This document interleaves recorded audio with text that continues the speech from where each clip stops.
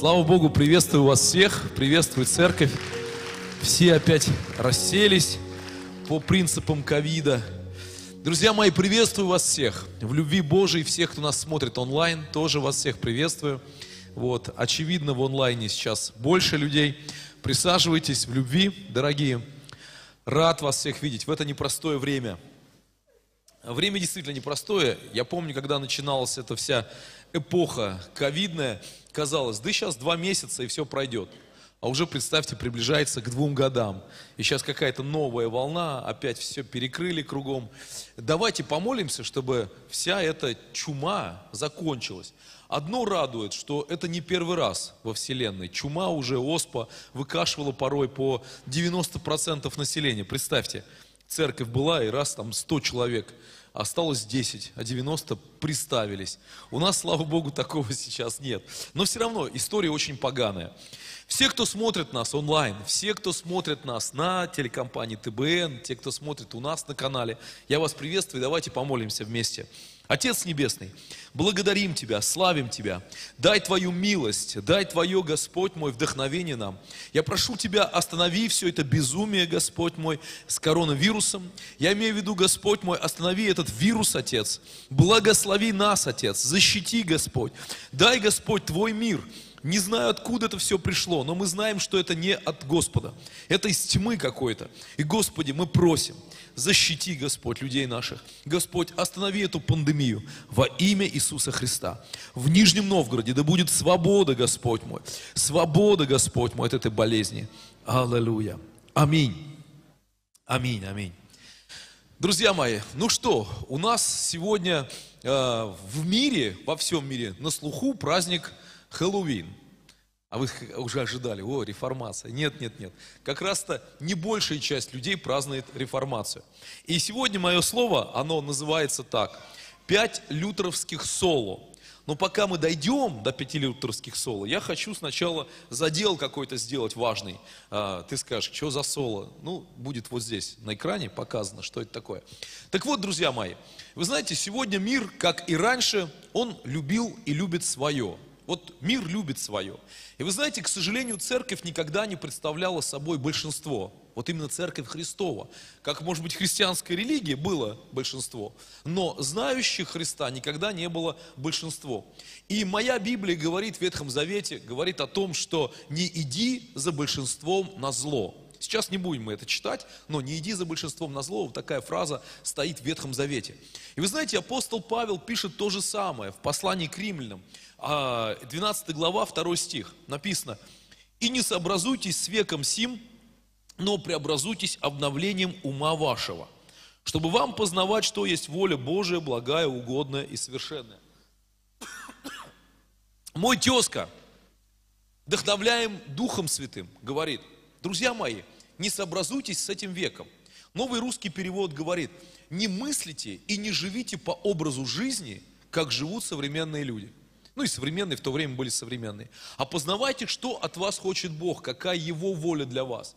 И очевидно, что образ жизни как-то вот затягивает всех в свое безумие. Ну, сегодня, знаете, модно говорить о том, что да нет, вроде мирские люди тоже прекрасные по-своему. Ну, вот врачи же не все там идиоты, нас же они лечат. Вот художники замечательные картины рисуют, совершенно светские люди. Наши преподаватели, светские люди, но неплохие люди. Да, все это понятно. Но с другой стороны, то же самое время. Почему-то Библия говорит, что весь мир лежит во зле. И когда я смотрю на историю человечества, я вижу, у нас сплошные войны. До сегодняшнего дня человечество не победило коррупцию, такую элементарную вещь. Как только человек прорывается чуть повыше, сразу начинает воровать. Вот ничего не поделаешь. Коррупция. Я уж не говорю про мат, я уж не говорю про зависимости. И я как-то вообще рос в такую эпоху, ну, в какой, собственно, и вы, наверное, сегодня находитесь, э, когда курили все – ну, сейчас, наверное, нет, сейчас меньше. А вот в мое время курили все, и я уже, будучи мирским человеком, я задавался этими вопросами, думал, почему люди курят? Вот нелогично совершенно. В армии, я помню, нас там обвешивают этими пулеметами, автоматами, и мы бежим. Знаете, у меня было хорошее время армии, два года, и мне есть что рассказывать и проповедовать, теперь на всю жизнь хватит. Как кто-то сказал, кто в армии был, тот в цирке не смеется.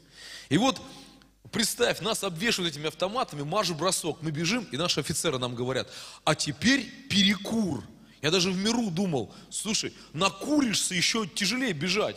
И главное, за свои деньги. Это я за свои деньги покуп, ну, вот покупаю сигареты, чтобы мне задыхаться.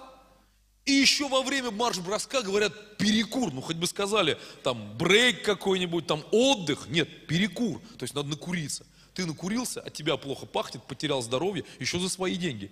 И я в миру был солдатом. Я говорю, парни, а чего мы все курим? Зачем? Кто это нам привил? И все, ну это же перекур. Я думаю, ага, перекур. Переблуд, говорю, а не перекур. Смотришь, следующая серия это, как правило, переблуд, а потом передоз. Я помню еще в 90-е годы, когда началась вся эта тема с наркоманией, я тогда, не понимая этот феномен, парня, своего ровесника, спрашиваю, а ты что, зачем колешься? Он только начал и говорит, ну ты знаешь, так классно, уколешься и сидишь, кипишь. Я тогда думаю, что ты делаешь, вот что ты сидишь, кипишь? Это где удовольствие-то? Укололся и кипишь. И вы, к чему я это все говорю? К тому, что мир все равно любит свое.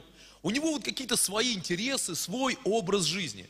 И вот сегодня такой задел у людей, особенно в западной цивилизации. Вот сегодня Хэллоуин. Я все время говорю, вас что, реально вштыривает вот эта одежда в чертей, в бесов, в ведьм, вот эту вот паутину дома развесить?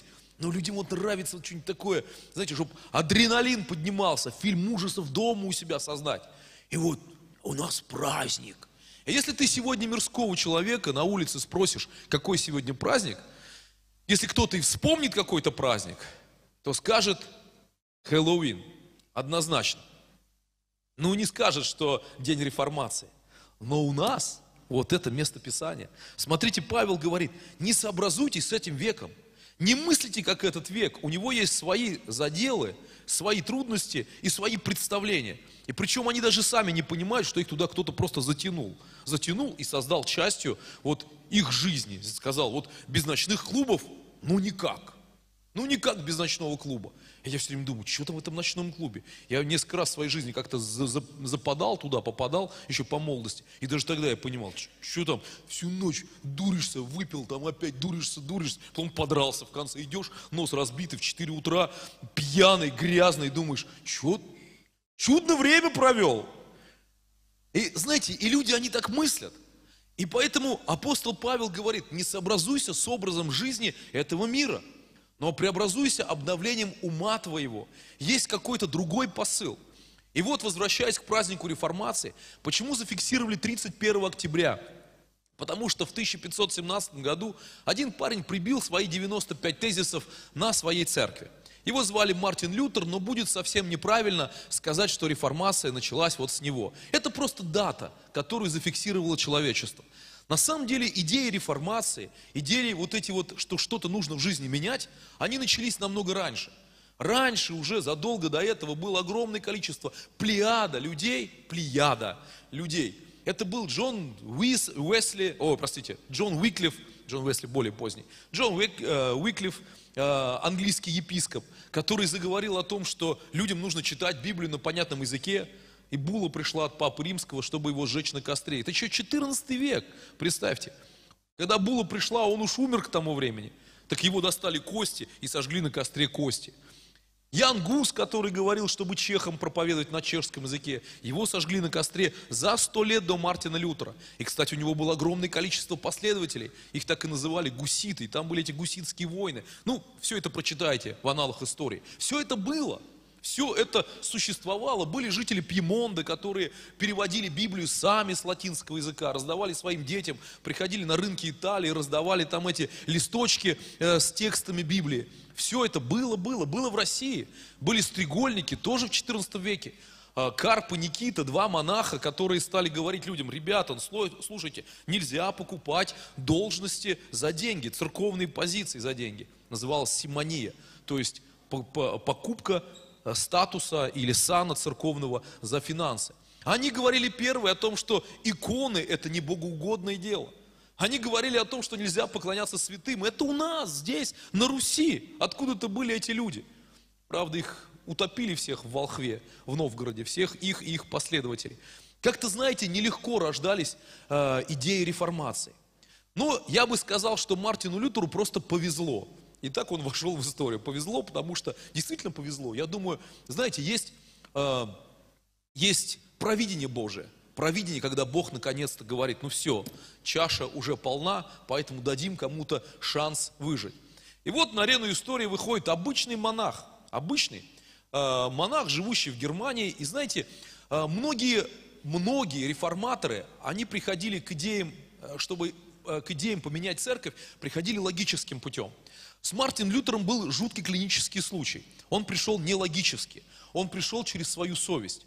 Дело в том, что средневековая церковь, она стала результатом, вот знаете, средневековья. Ведь надо помнить, что первые 4-5 веков это была, э, церковь развивалась на территории Римской империи. И латинский язык это был язык Римской империи. Единственное, что на Востоке говорили на греческом. А в большей части говорили на латинском. Поэтому тексты Библии были людям понятны. Но 6, 7, 8 века латинский язык вымирал, приходили другие народы. Ну, это, знаете, за, за 30 минут не расскажешь всю историю человечества. Безусловно, это были варварские народы, это были германе, германы, славяне, гуны и так далее. И народ стал менее образованным, а церковный язык ушел на второй план, то есть э, латинский язык. И для этих народов, хотя христианство стало государственной религией, религией их государства, их царей, но литургия происходила на латинском языке, и все это обожествлялось в какую-то, знаете, сакральную форму. Но человек средневековый совершенно не имел представления о, о, о христианстве. И знаете, людей легко было дурить, собственно. Ну, представьте, средневековый житель Европы, человек, который даже не знает, что Библия вообще существует, он просто не знает. Он живет в вечном страхе. Его преследуют всевозможные какие-то опасности. То голод, то нашествие кого-то. И, безусловно, человек понимает, что его жизнь коротка. И вот в этой короткой жизни он хочет как-то после смерти еще получить вечное какое-то наследие. А все, что он видит в церкви, это литургия, священников, которые давно уже привыкли к этой атмосфере, и, соответственно, понимают, что на страхах людей можно делать деньги – и очень хорошо, причем делать деньги. Чем больше запугиваешь, тем больше они платят. Хочешь спастись? Хочу, батюшка, хочу. Плати. Хочешь, чтобы мама твоя умершая вышла из ада и попала в рай? Конечно, хочу, батюшка. Плати. Хочешь, чтобы будущие грехи тебе были прощены? Знаете, вообще бизнес, э, бизнес-мышление, особенно у священников, оно очень такое, знаете, креативное. Они находят варианты новые получения финансов. Люди грешили во все времена с. И вот народ, эта масса, она жила вот в этой атмосфере запугности и страха, и всегда пламя ада перед их глазами. И по большому счету это пошло на руку э, священнослужителям и Святому Престолу. Поэтому люди стали продавать индульгенции. Индульгенция это э, это справка о том, что твои грехи, грехи твоих родственников, будущие или прошлые, в зависимости от твоего взноса, прощены. Представьте, спасение было денег, вопросом денег. Просто есть деньги, спасен, нет денег, не спасен. Оттуда это понятие, что достаточно богатые люди, князья, графья там и так далее, они еще больше давали денег в церковь, чтобы тоже спастись. Они хоть были и богаты, но в принципе также суеверны. Вот в такой тяжелой атмосфере люди жили. И вот в конце 15 века начинается новая эпоха. Она интересная эпоха. Люди вдруг понимают, что Земля круглая. Колумб впервые об этом заявил и попробовал приплыть в Индию, плывя в другую сторону. Не на восток, как положено в Индию от Европы, а на запад. И там что-то нашел, открыл Америку. Потом приплыли другие мореплаватели, оказалось, что есть целый свет, американский континент. Они встретились две цивилизации, которые жили тысячелетиями в отрыве друг от друга. Только подумайте – там какие-то майя, ацтеки, инки построили пирамиды, огромные города, Тиноч, Титлан, Куско. Туда приходят европейцы. Это вот сродни встречи с инопланетянами.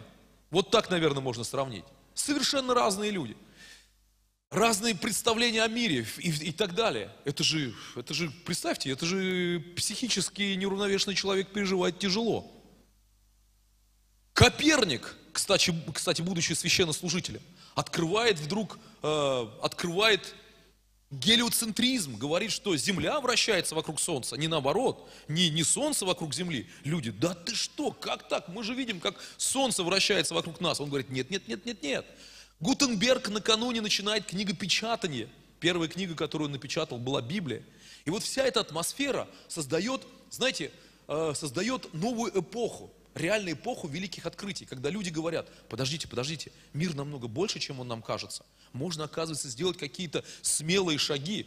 И вот Мартин Лютер, будучи э, сыном своего поколения, он становится профессором университета и при этом монахом. Он же был и пастырем, священником, и профессором, и в это же время монахом. В то время это все хорошо сочеталось.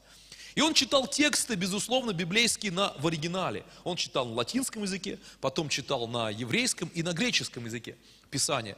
Но, к сожалению, если ты живешь в целой системе замкнутой, тебе очень трудно даже читая текст, ну, понятный текст, надо еще сделать сноску, все-таки он читал не на родном языке, он читал в переводах, э, как и многие профессуры того времени. Но ты не можешь рассмотреть за ними, за текстами истины. Она для тебя тоже такую, знаете, форму носит какую-то э, сакрально-мистическую.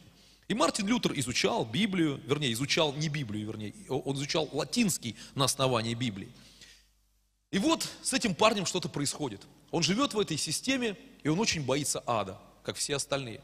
Но он был очень совестливый человек, как говорят историки, и мучился так, что доводил себя до безумия.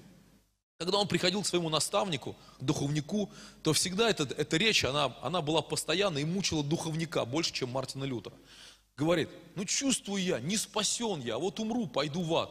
Духовник говорит, слушай, вериги может тебе повесить потяжелее, чтобы ты ходил, мучился, а потом как-то почувствовал, что ты угодил Богу. Тот повесил верыги, ходил, ходил, говорит, не помогает. Он, в лосяницу нужно такую одеть. В лосяницу это рубашка, которая мучает раздирает твое тело. Спи в ней, мучайся, может, тогда Богу угодишь. Тот мучился, спал и задрал все тело. Говорит, что-то чувствую, не спасен я. Духовник говорит, пост возьми, такой, чтобы прям вот почти до смерти. Тот исхудал, как, как житель Бухенвальда. Пришел, сел перед духовником. Тот говорит, ну что, помогает он. Нет, все равно чувствую, грешник я. Грешник, буду в аду за свои грехи. Он, ну что ты, блудишь что ли? Он говорит, не блужу, но блудные мысли меня одолевают. А значит, чувствую, я буду в аду. Духовник говорит, слушай, я уже не знаю, чем тебе помочь. Иди в Рим. Вот пока идешь в Рим, там, во вретище, зимой, по холоду, придешь в Рим, увидишь лестницу святого Петра, престола святого Петра, вот целуй ее. И вот на каждой ступеньке читай по 40 Богородиц. И так вот поднимайся вместе со всеми паломниками средневековыми. И Мартин Лютер, будучи образованным человеком по тем временам, пошел в это далекую, э, далекое паломническое путешествие. Мой хороший друг, хороший, он говорит, я прям однажды подумал, пойду-ка я этой дорогой, дорогой Мартина Лютера. Кстати, он молодой парень, прям реально молодой, ему что-то коротко за 20. Больше он, наверное, друзья, это его родители, мои друзья. Но он тоже друг, потому что сын моих друзей в Германии. Э, вот, немец, Матиас такой. Собрался и пошел. И я его встретил после этого путешествия. Я говорю, как Матиас? Он говорит, я почувствовал, какой ужас прошел Мартин Лютер. Он шел месяц, Матиас шел. Он говорит, я подумал, так я-то шел в наше время с рюкзачком, заходил в кафе, кушал, ночевал там где-то в гостинице. Он говорит, где он там ночевал по этой дороге? Где они спали? Что они ели? Я, говорит, вообще ума не приложу. Из Рима, правда, он летел в Германию уже на самолете. Я, говорит, был не способен обратно этот путь пройти. Но что интересно, что человек что-то переживал в это время. И когда он добрался до Рима, до Святого Престола, огромное количество паломников, которые в нищете своей, вот в этой в средневековой атмосфере искали спасение, вот успокоение их души. Вот что они искали. И они целовали все эти вот э, ступени, каждый делал какие-то свои религиозные обряды, чтобы как-то обрести какую-то какую благодать, благоволение перед Богом. Вот была их цель, покой своей души найти. И Мартин Лютер, пока он полз по этой лестнице, э, история говорит, что в каком-то моменте он вдруг остановился – и как будто бы что-то с ним произошло, какое-то озарение. И он вспомнил просто одно место Писания. Оно просто выскочило ему как бы в сознание. Это из послания к римлянам 17 глава, 1, 1 глава, 17 стих. Он его знал на латинском языке, но он произнес его на немецком. И, кстати, потом, так как он был немец, сам с Саксонии, э, потом он, переведя Библию, вот это место Писания, знаете, я как германист сам, изучая немецкий язык, мне даже в какой-то степени чувствую вот дух Мартина Лютера, я думал, как это в его сознании отобразилось.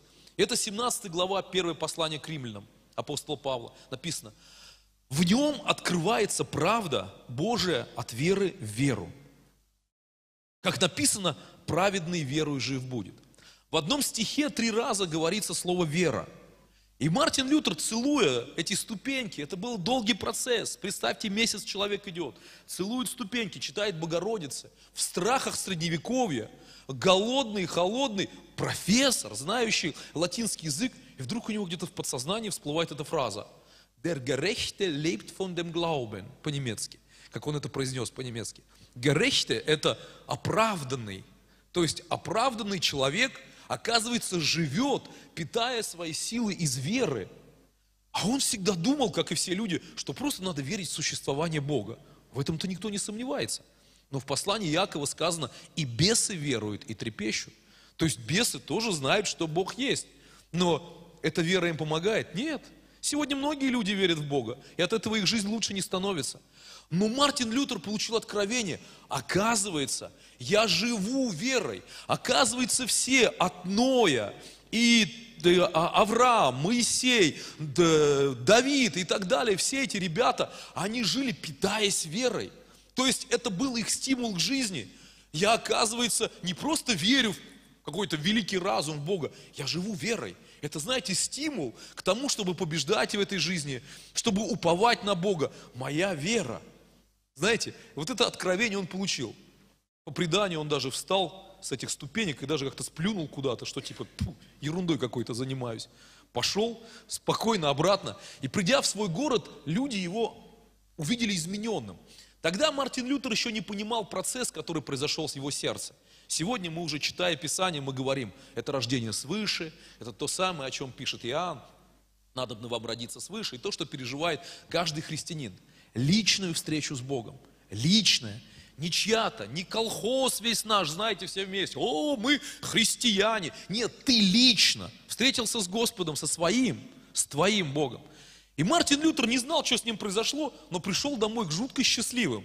И когда встретился с духовником, духовник его не узнал. Говорит, помогло? Тот говорит, да и не поход помог. Говорит, хотя поход сыграл свою роль, но говорит, я просто понял, что праведный веру жив будет. И это в Библии написано. И с тех пор он стал учить своих студентов, он приходил в церковь, вот эти простые слова говорил. В это время-то, не забывайте, параллельно продаются индульгенции. И в его город приходит авторитетный монах Тецель. Приходит авторитетный монах, и вот весь город собирается около него, эти необразованные люди, которых он пугает адом, и говорит, деньги нужны для того, чтобы спастись, деньги. И вот происходит эта удивительная встреча. Она, наверное, сродни встрече ММА Федора Емельяненко с каким-нибудь японским э, этим каратистом. Это была как встреча, знаете, двух, двух э, серьезных, очень авторитетных людей. Два монаха, представьте, встречаются на улицах Виттенберга. Куча людей смотрят, и Мартин Лютер говорит, да коли ты будешь благодать Божию продавать за деньги? То есть он начинает стыдить этого монаха и говорит, зачем ты продаешь благодать? которая сама по себе благодать. Это бесплатный дар. Чтобы вы, кстати, все знали, что благодать – это не просто чувство, которое у нас как-то укоренилось, так, знаете, у русских людей. Вышел с утра в огороде, солнышко встало, птички поют, пукнул и говоришь, благодать-то какая. Да речь не об этом. Это в том-то и дело, что мы не понимаем, что такое благодать. Но почему-то на страницах Библии это слово встречается крайне часто. Возникает вопрос, вот и разберись, что такое благодать.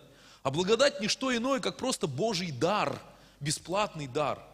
И в послании Ефесянам 2 глава 8-9 стих говорит, благодатью вы спасены через веру, ибо сие не от вас Божий дар. А, классно. И Павел говорит Тецелю, подожди, благодать это Божий дар. Ты не можешь его заслужить, это подарок. И он приходит к тебе через веру, поэтому как ты за деньги продаешь благодать? То, что уже людям принадлежит. Тецель злющий ушел, рассказал всем окружающим. И, кстати, с ним, с самим Стецелем произошла жуткая история, которая вошла в аналы вот, хроник всевозможных, что когда он продавал индульгенции, причем грехов не только прошлых, но и будущих, однажды, идя со своим со своей там этой банкой с денег, шел к себе в монастырь, и вдруг какой-то насильник напал на него, ну какой-то вор, бандит, не знаю как назвать, стукнул его чем-то там этого монаха, отнял у него деньги, э, вот эти все, и Тецель кричит, ты пойдешь в ад, потому что ты забрал деньги Святого Престола, это деньги церкви, а ты там, негодяй такой, забрал это, этот вот деньги, которые принадлежат Папе Римскому. А тут поворачивается и говорит, слушай, нет, я не пойду в ад, ты, ты же мне справку выдал о том, что можно ограбить кого-нибудь. Я деньги за это заплатил. Поэтому я и ограбил. Понимаете, коллизии такие бывают, когда вот бывает безумство совершенно ничем не, регу, не регулируемое. Но произошло следующее. Мартин Лютер был убежден, что он отстаивает просто христианские идеалы, ничего большего. А так как в его время уже давно никого не жгли, он как-то думал, что все будет само собой разумеющимся. Но его пригласили в город Вормс на какую-то дискуссию – он реально был убежден, что он просто приедет в Вормс, где встретятся священники, представители власти, и все будут с ним разговаривать, а он скажет, да вы что, ребята, я же только доброго хочу церкви. Я же хочу, чтобы народ спасся, деньги платить для этого не надо, ведь Библия говорит, давайте ее переведем. Наивный парень. Как часто мы бываем наивными, не понимая, что мы сталкиваемся с совершенно демоническими представлениями о жизни. И вот справа, если вы выйдете из нашего зала, вот там мы сделали такой небольшой музей реформации. Там, кстати, мои книги, которые я покупал, там по карте факты все мои. Если у вас будут какие-то старые книги интересные, э, церковные, пожалуйста, приносите, пополним коллекцию. Пока только личные мои, все, где я их покупал и за границей, и здесь. И там висит картина Мартин Лютер в Вормсе. Обязательно ее посмотрите, известная картина. И вот он стоит в Вормсе, э, пришедший монах, Э, немец, город Вормс, а, император был тогда Священной Римской империи, испанец по, по, по, по своему происхождению. Он тоже присутствовал, молодой парень совершенно, сидел на этом заседании. Папа Римский не приехал, потому что сказал такие слова, сказал, ну что, опять монахи чудят, разберитесь с ним. И с ним решили разобраться. А Мартин Лютер думал, что с ним просто поговорят, вразумлять будут.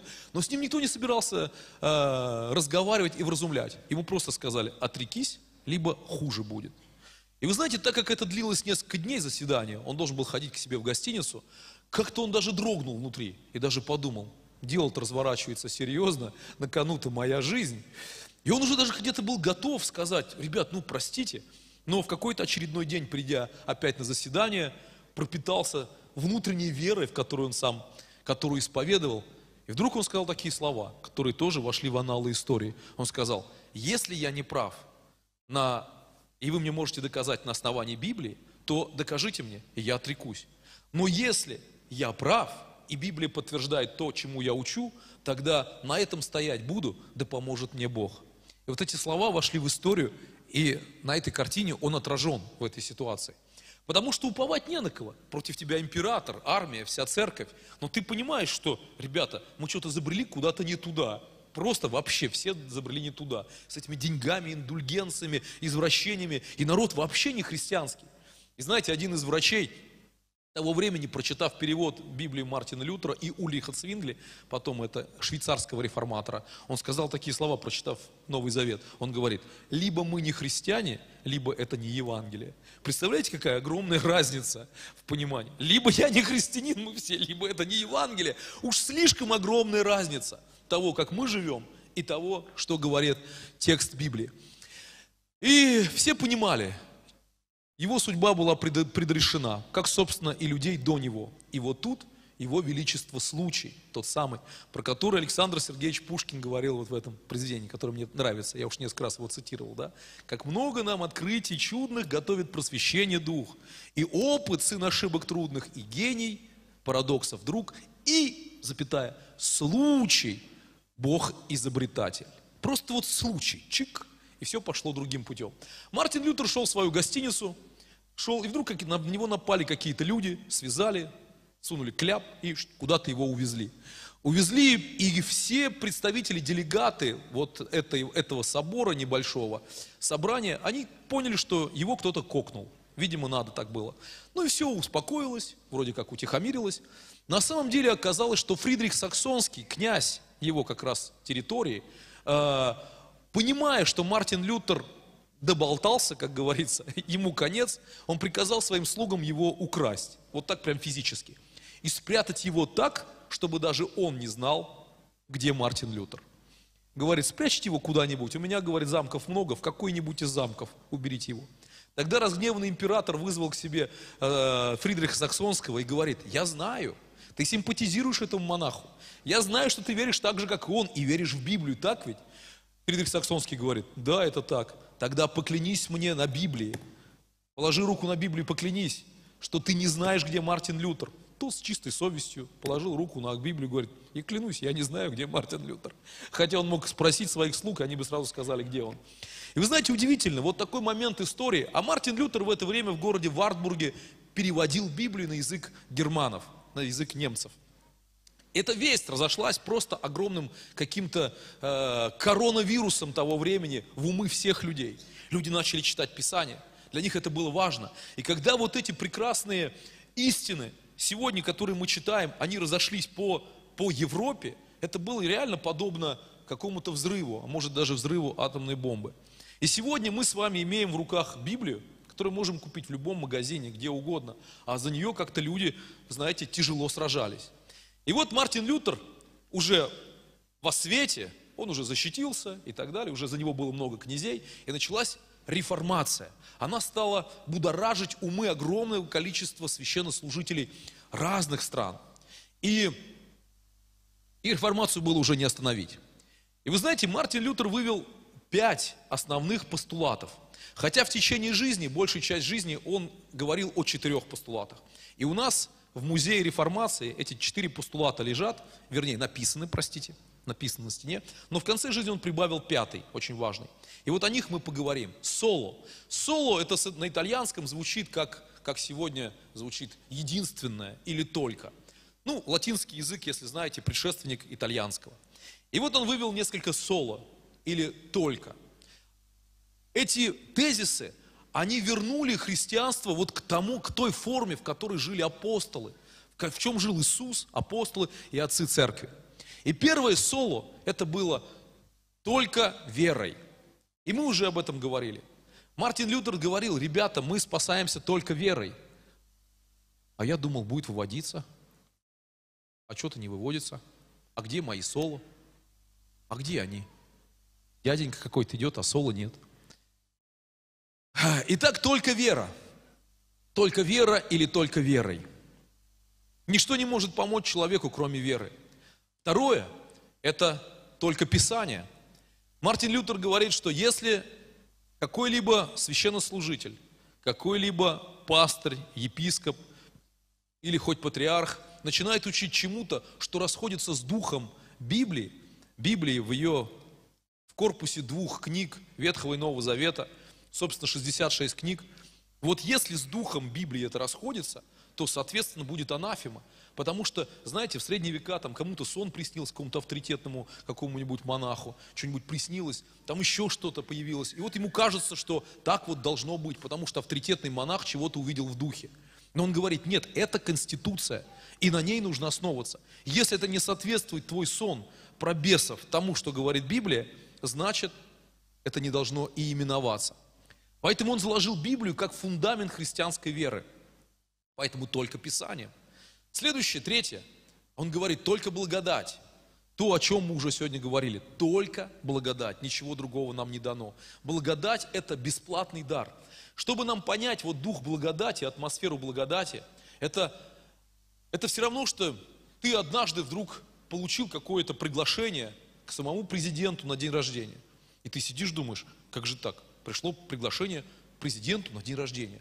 И ты знаешь из новостей, что там будут только избранные люди, там будут только олигархи, самые богатые люди. Ну, в принципе, могут даже кто-то кто туда прийти, но билет даже входной, самый дешевый, это будет полмиллиона рублей и так издалека наблюдать за пиршеством. Вдруг приходит тебе. Ты думаешь, почему? Ты никак не можешь понять. И тебе нужно поверить, чтобы пойти туда по этому билету. Но тебе сложно, потому что внутри вся твоя природа говорит, ну это невозможно. Как я могу пойти бесплатно, я никто.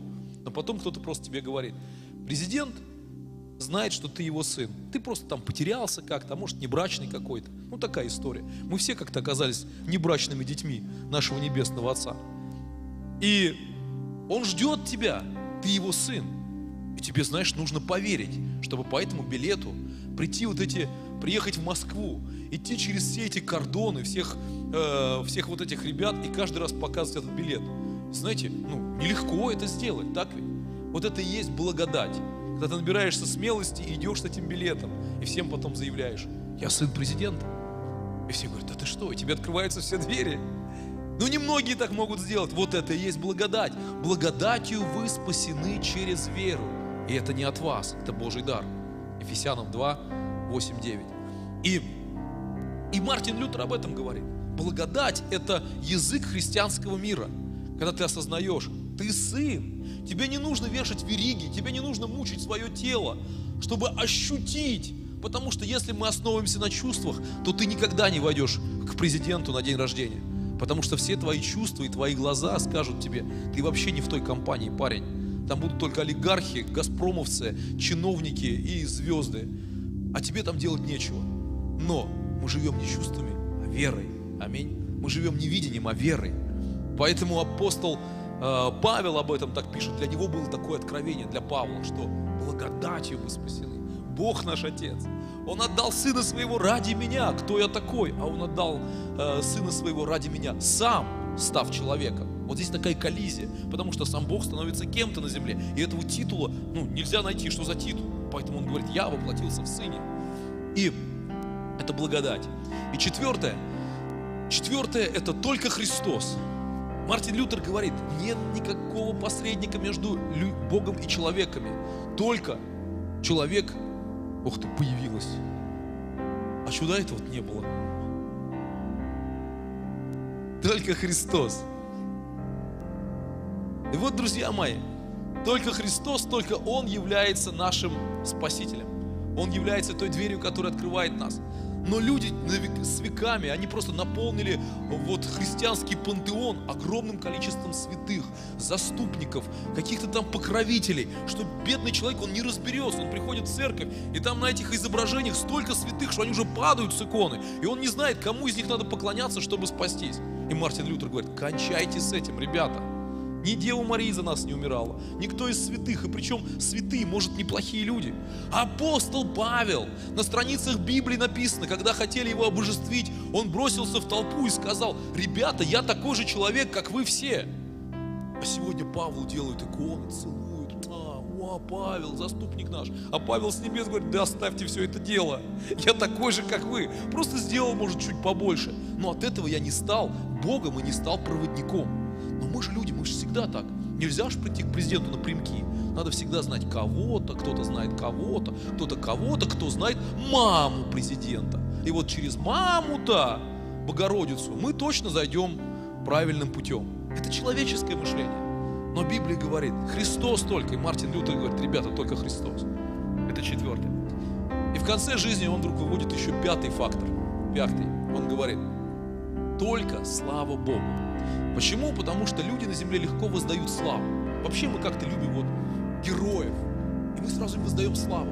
Но слава – это высший уровень почести. Благодарить можно каждого человека. Благодарить родителей, благодарить кого угодно, там, наставников, президента, пастора, близких, друзей. Мы благодарим. Но слава – это глория, то есть вся слава.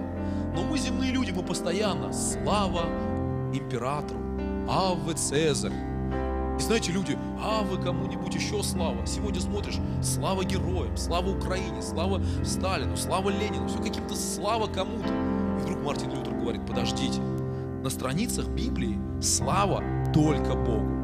Мы можем благодарить людей, которые сыграли в нашей жизни большую роль, но слава, то есть автор сценария всего этого, все равно только Бог. Поэтому слава только Ему. Аминь. И вот на этой доброй волне я хочу как раз закончить. Друзья мои, праздник реформации, великий праздник. И давайте поднимемся с вами. К сожалению, мало кто его празднует, но я думаю, мы должны как-то отмечать, вопреки Хэллоуину. И когда к тебе приходят вот эти вот черти, бесы, ты говори, реформация тебе нужна. Вообще очень все символично 31 октября. С одной стороны, мир в бесятах ходит, а мы в реформации. И мы говорим, слушай, реформируйся, брат, смени, смени свои бесовские одежды на одежды светлые и нормальные. Аминь. Господь драгоценный, мы благодарим Тебя, Господь мой, за Твою реформацию в наших сердцах, за Твой дух жизни, Господь. Благодарим Тебя за то, что Ты обновил нас, Господь, обновлением ума нашего. Спасибо Тебе, Господь, за дух жизни. Благодарим Тебя, что Святой Дух действовал через многих реформаторов. И центральным оказался Мартин Лютер. Господи, благодарим Тебя, Отец. Дай Твою милость, Твою благодать, Господь мой, чтобы каждый из нас осознавал, что есть только вера, только Писание, только Христос, только благодать и только Богу слава. Господь мой, об этом говорили все пророки, об этом говорили апостолы. И благодарим Тебя, что сегодня, Отец мой, мы в Твоей руке. Да будет Тебе единому слава.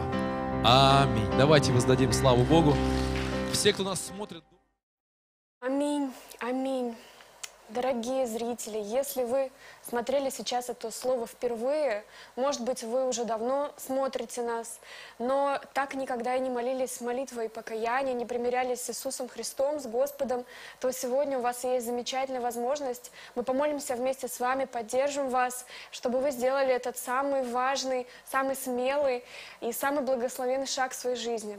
Давайте сейчас помолимся молитвой покаяния.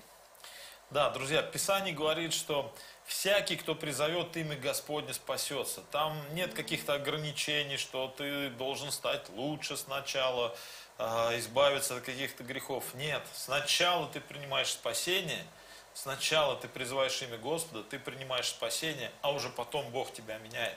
Поэтому давай помолимся с тобой. Если ты первый раз молишься этой молитвой, призови Иисуса в свое сердце.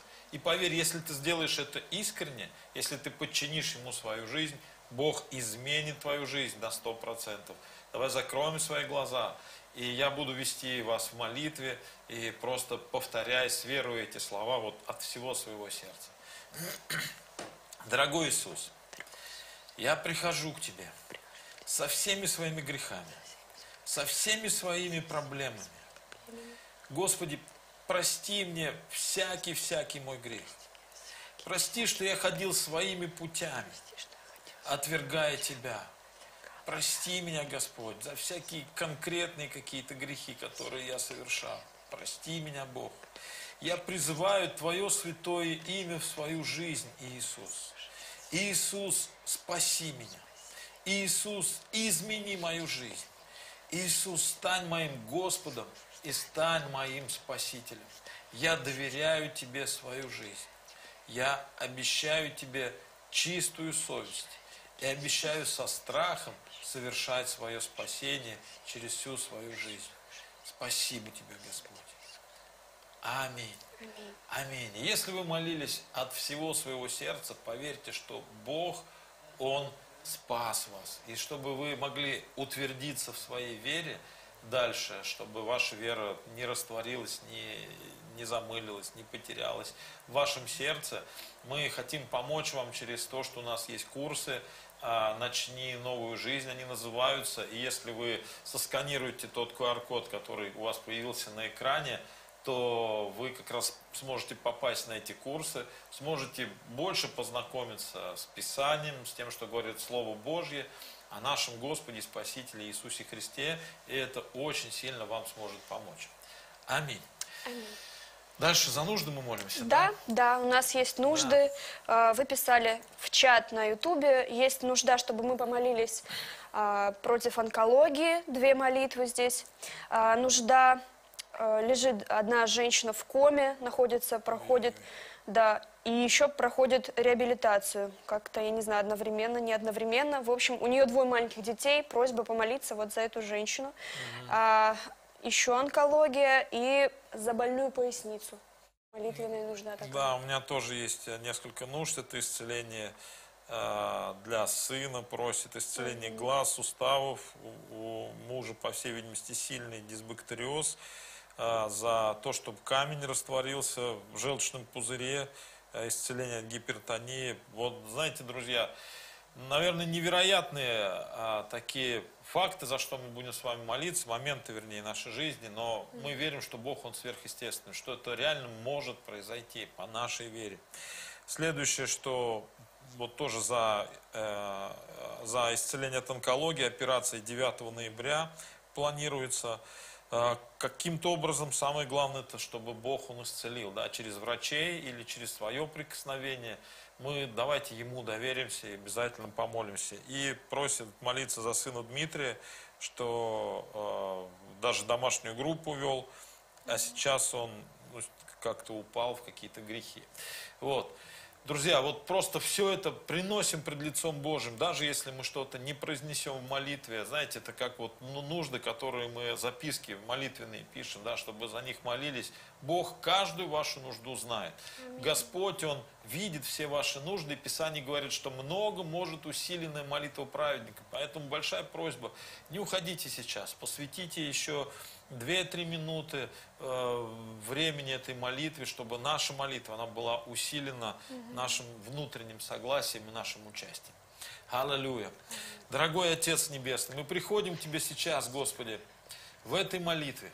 Господь, Ты видишь все эти нужды, Бог наш. Ты видишь, Господь, боль сердец, Господь. Господи, эти нужды, которые на самом деле, Господь, являются очень серьезными. Это исцеление от онкологии, это спасение душ человеческих, Господь. Кто-то в коме находится, кто-то ковидом, может быть, тяжело болеет. Господь, мы молим Тебя во имя Иисуса Христа, Дух Святой, коснись этих людей, Господь.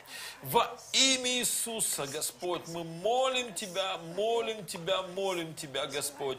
Мы высвобождаем Твою Божью силу на исцеление всякого болящего во имя Иисуса Христа. Иисус, Ты пострадал на Голговском кресте, чтобы забрать все наши немощи, все наши болезни, и чтобы даровать нам жизнь и жизнь с избытком, с избытком в том числе в здоровье, Господи. Мы благодарим Тебя, Господь, за Твое Слово, за Твою истину, за то, что, Господь, когда мы молим Тебя, Ты, наш, ты нас слышишь и Ты отвечаешь, Господь. Восполни всякую эту нужду по богатству своему и славе через Иисуса Христа, Господь. Исцели от всякой болезни, от всякой онкологии, онкологии от всякого ковида, Господь. Исцеление глаз пусть произойдет, камни в желчном пузыре пусть растворятся под действием силы Твоей, Господь, во имя Иисуса Христа. Аллилуйя, Господь. Отдаем все это в Твои руки и принимаем веру, Господь, Твое могущественное воздействие, Господь, в жизнь каждого, кто нуждается, Господь, в Твоем чуде. Во имя Иисуса Христа. Аминь. Аминь. Аминь. Друзья, продолжайте благодарить Господа. Вот за, то, за все то, что помолились. Смотрите на небеса, смотрите на Него. Просто благодарите, что Бог, Он действует в вашей жизни. И Его чудо, оно, оно рядом с вами, оно приходит в вашу жизнь. Аминь. Обязательно подписывайтесь на наш канал на Ютубе, на все наши соцсети, Инстаграм, ВКонтакте. Будьте с нами на связи, смотрите, питайтесь. Очень рада, что вы часть нашей семьи. Слава Богу за вас. Увидимся на следующем служении. Благословения, друзья.